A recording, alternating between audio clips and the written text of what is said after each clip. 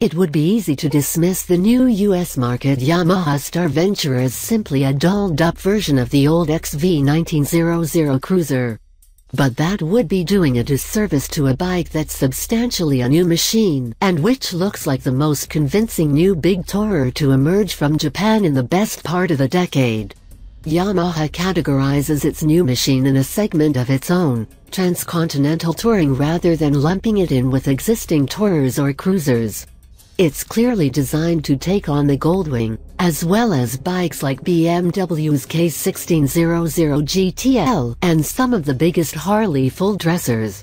The 1854cc engine's roots lie in the old XV1900 single quote S, but there's a new air intake, exhaust and a completely new electronics suite including YCCT ride-by-wire.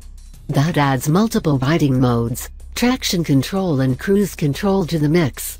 It's bolted to a steel frame with an alloy subframe to centralize mass the 6-speed, shaft drive transmission is also new.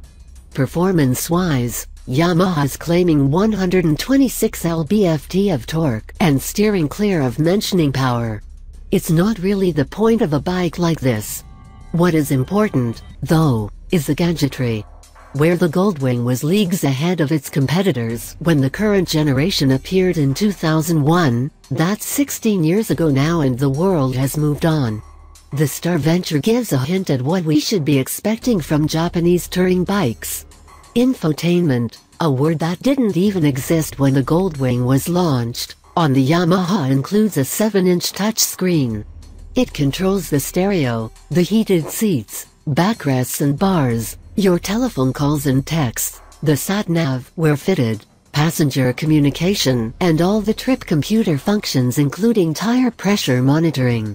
Opt for the $2,000 more expensive Star Venture TC model and you get GPS, satellite radio. It's an American market bike, remember, and individual audio zones for the rider and passenger. Oh, and LED driving lights. Other tech on the bike includes SurePark, which is an electric crawler gear, operating both forwards and backwards, to help you maneuver the bike without having to push its 434 kilograms, 437 kilograms for the TC model, mass.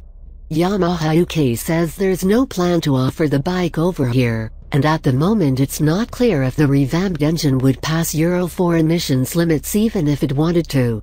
In America it costs $24,999, or £26,999 for the TC version.